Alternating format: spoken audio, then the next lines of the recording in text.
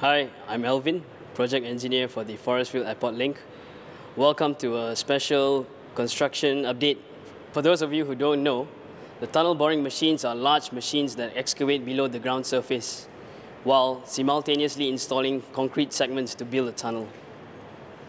TBM Sandy and her sister TBM Grace are building twin tunnels from Forrestfield all the way up to Bayswater.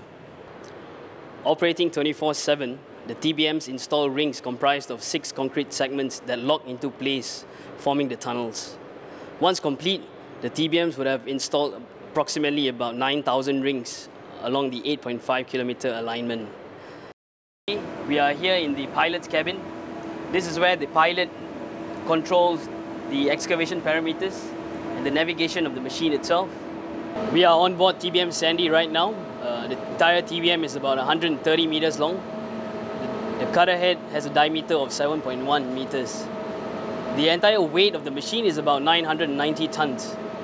As the cutter head bores through the ground, the material is conveyed via the screw conveyor into rotary crushers, where it's crushed and further diluted to be able to be pumped back all the way to Forrestfield.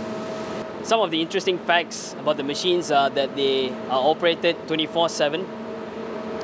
It requires a crew of about 11 people to run the show. Uh, each machine has a TBM pilot who controls the excavation parameters and watches the face pressures. Uh, typically, it takes about 15 to 20 minutes to build an entire ring. So the process of excavating and building a ring itself is normally within two hours. And on average, the TBMs advance about 16 to 22 meters per day. Also, one of the most common questions we have is what happens to the TBMs once tunneling is finished?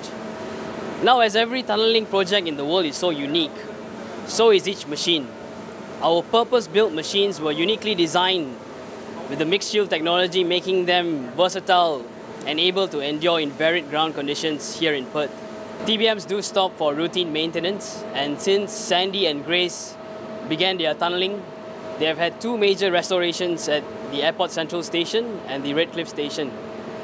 They are now on their way to complete a major feat, one which we have not seen in Perth before. Early next year, both the machines will resurface at Bayswater and complete their tunneling drive of 8.5 kilometers. Thank you for joining me today. If you'd like to see where the TBMs are, you can visit our Forrestfield Airport Link website. Thank you.